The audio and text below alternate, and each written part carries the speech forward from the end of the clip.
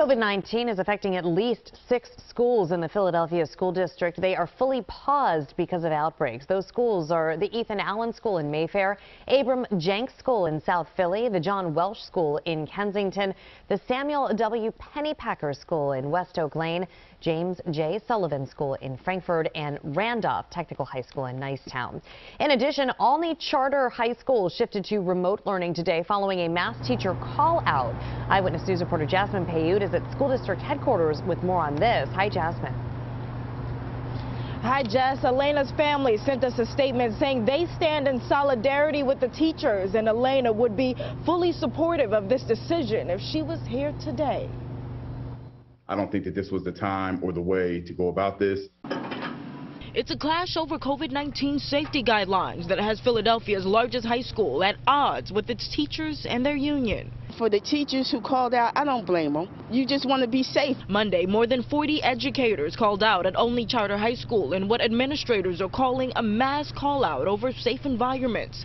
The move comes nearly a week after 12th grader Elena Thatch died from COVID-19. It's understandable.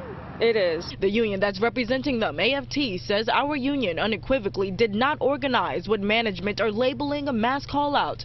However, in the aftermath of a student death, Olney's management should have been more proactive in moving to fully virtual learning before last night. I think that we actually go far above and beyond with our um, our protocols anytime that someone uh, does identify themselves as having uh, COVID. The surge in cases not only concerning these teachers. The Philadelphia Department of Public Health says Randolph Technical High School has been shut down for 48 hours.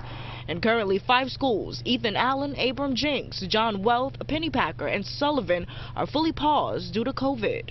Clearly, um, we are seeing, obviously, as we are seeing across you know, the world, an uptick in cases, and we are being mindful of that. But and with COVID-19 being their biggest battle, the principal of Olney Charter School says this disagreement is another thing they'll have to put behind them. There's a lot more that we could be focusing on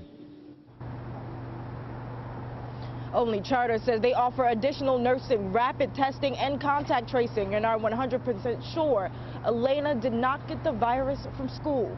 We're live at school district headquarters. Jasmine Payoute, CBS 3 Eyewitness News. Jasmine, thank you.